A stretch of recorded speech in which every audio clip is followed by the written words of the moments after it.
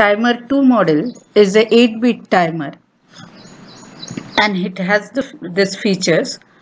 It can be used as a 8-bit timer and it has a period registers TMR2 and PR2. So two registers are associated with this timer.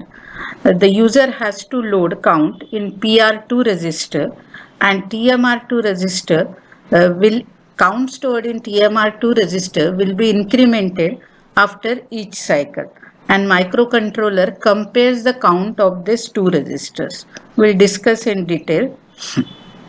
Both these registers are readable and writable. We can prescale the input clock signal.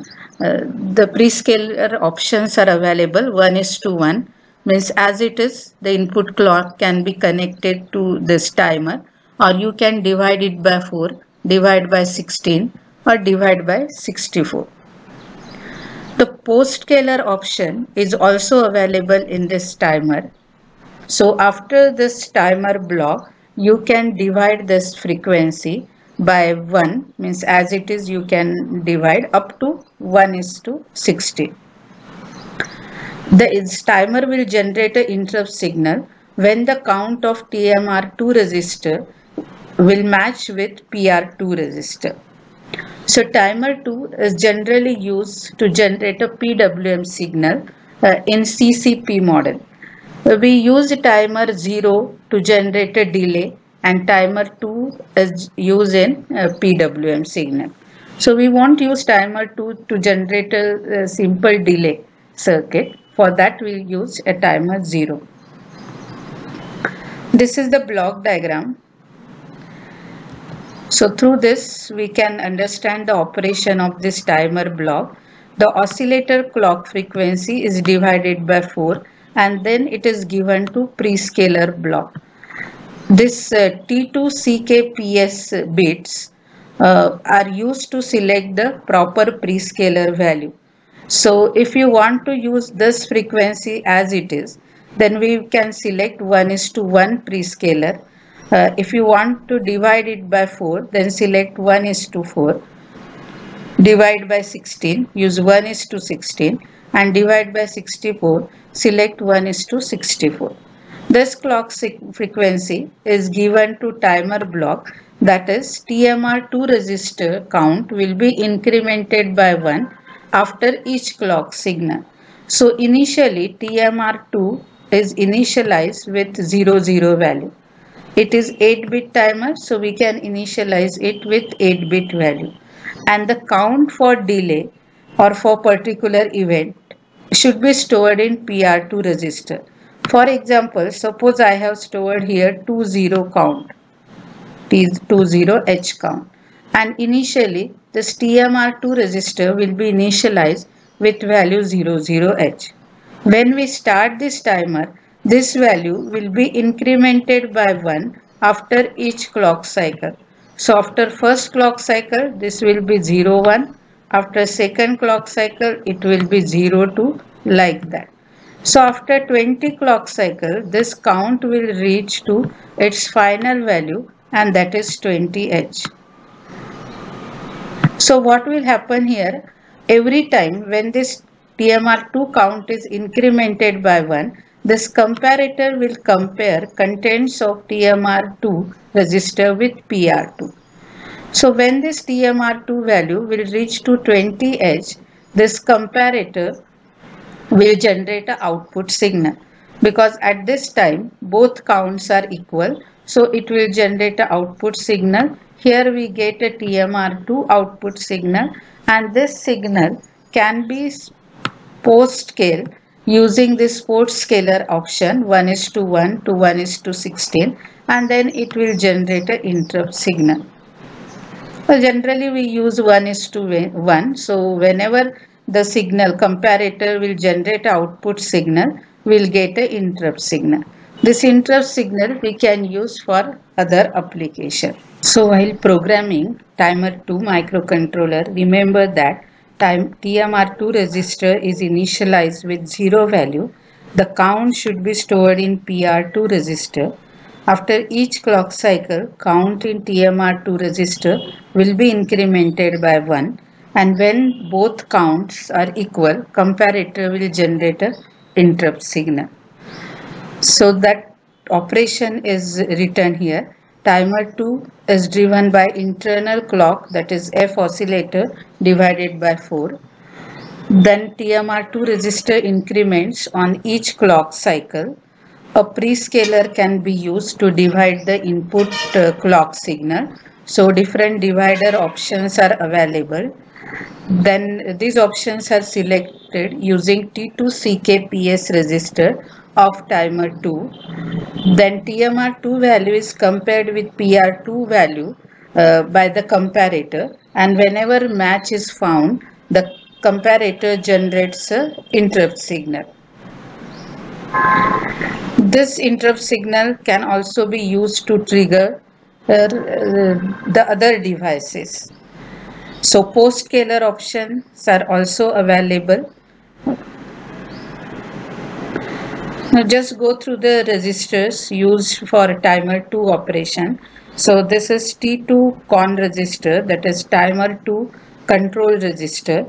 So it has this four bits T2 clock post scaler uh, bit. So these are used to post scale the uh, timer value.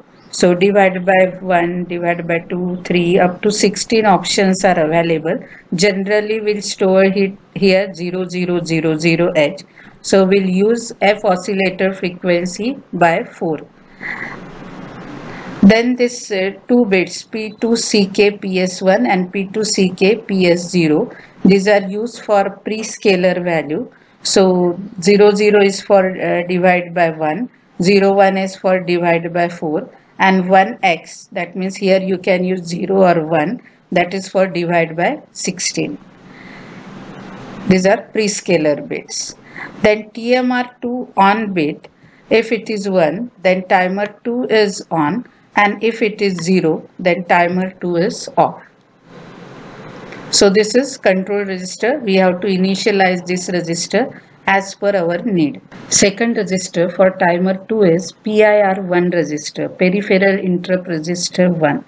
So in this register, the one bit is of timer 2 flag bit that is bit 1, TMR2 IF bit so this bit will be set to 1 when TMR2 value uh, will matches with PR2 value. So user has to check this bit.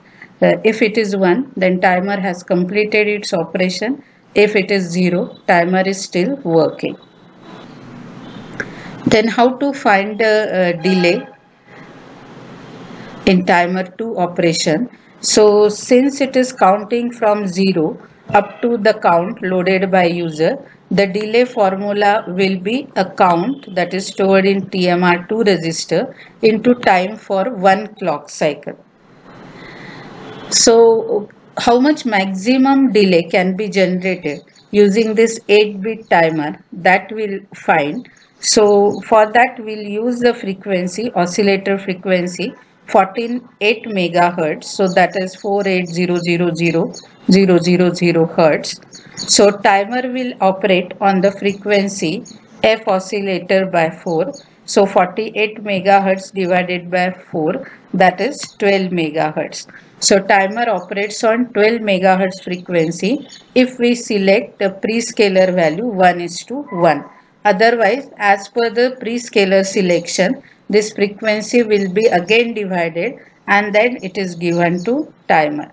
So if prescalers, postscaler are not used, then the timer will operate on the same frequency that is uh, 12 megahertz and the time interval will be uh, 1 by this frequency that is 1 divided by 12 megahertz 8.34 microsecond.